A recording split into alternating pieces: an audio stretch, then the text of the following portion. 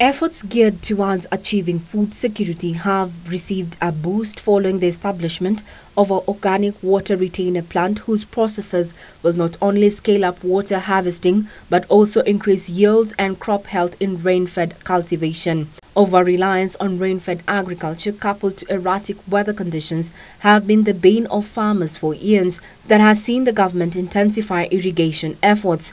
That is, uh, is uh, known worldwide and this is an uh, example of, uh, of uh, international recognition of, of uh, this uh, water retainer. The organic water retainer innovation is part of agricultural cooperation between Kenya and Hungary.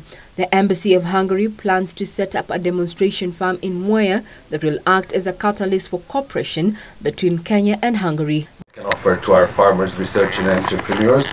And this farm, which uh, will hopefully be set in, in this very uh, area um, can act as a catalyst for cooperation uh, between um, um, by providing a place for Hungarian. Um, this move is expected to revolutionize irrigation and farming in Kenya, setting a benchmark for organic agriculture in the East African region.